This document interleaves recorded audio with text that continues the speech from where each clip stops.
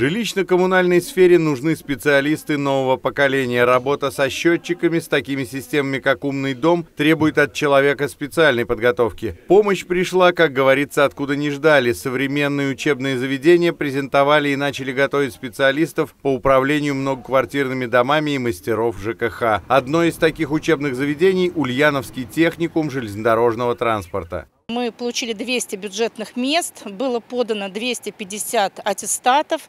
В частности, на эти две специальности конкурс пошел где-то полтора человека на место. Мы, наверное, по счету 8 или 9 в России, кто получил лицензию на эту специальность. Идея выпускать специалистов для ЖКХ витала в воздухе с 1996 года, однако тогда ее запустить не удалось из-за отсутствия денег на разработку программ и закупку необходимого оборудования. Сегодня с закупками оборудования для лаборатории территорий помог профильный министр, а с подготовкой помещений будущие работодатели, управляющие компанией «Ульяновска». У работников образования всегда есть много новых идей, однако реализовать их никак не получалось, пока не заработали в полную силу национальные проекты и, в частности, национальный проект образования.